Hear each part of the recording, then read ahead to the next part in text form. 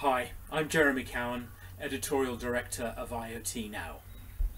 Every day it seems brings more news about the impact of 5G, the fifth generation tech for mobile communications. So what is the reality for connected cars and other 5G applications?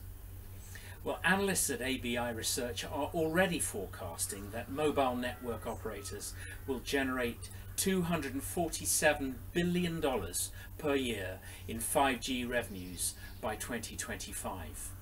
And yet 5G standards are still under development. So to get some clarity, IoT Now is bringing together a vital webinar.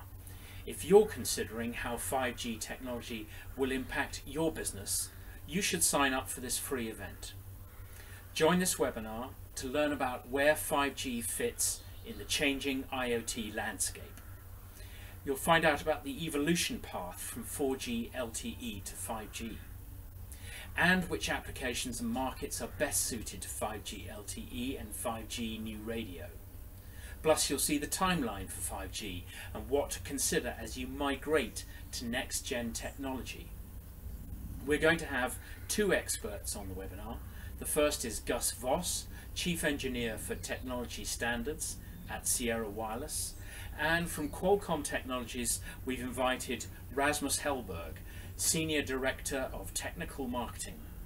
So just follow the link below this for a vital and free webinar. I really hope you can join us on the day.